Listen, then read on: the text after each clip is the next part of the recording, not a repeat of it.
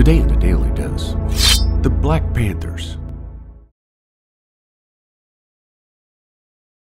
Following the assassination of black nationalist leader Malcolm X and the murder of an unarmed black teen by San Francisco police, activists Huey P. Newton and Bobby Seale formed the Black Panthers or Black Panther Party in October of 1966, which was a socialist, armed self defense group with the primary goal of pushing back on police brutality against blacks.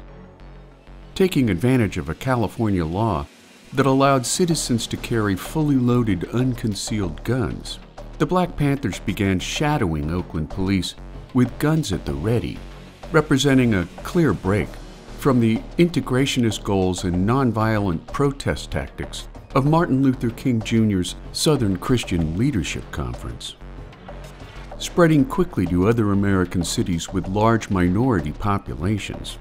By 1968, the Black Panthers had grown to some 2,000 members, spreading Newton and Seale's political objectives drawn up in their 10 point program, including the immediate end to police brutality, employment for African Americans, fair housing, and justice for all. While the Panthers were able to institute community social programs such as free breakfast for school children and free health clinics in 13 African American communities.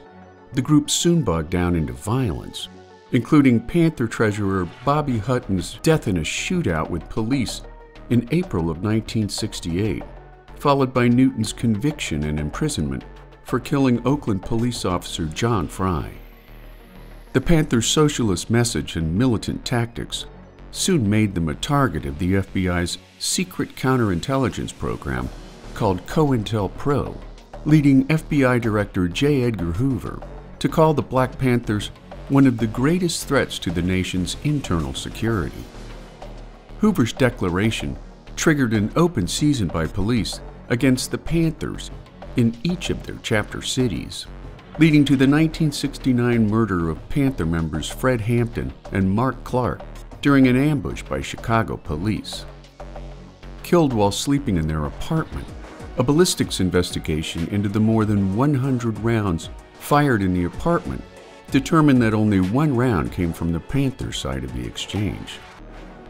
After a federal grand jury ruled that the Bureau played a significant role in the lead up to the raid, the Black Panthers officially disbanded in 1982, making the Black Panther Party a violent participant during the turbulent years of the American 60s.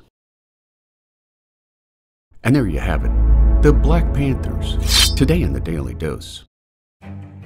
If you like learning something new every day, subscribe to the Daily Dose on YouTube or sign up for emails at dailydosenow.com.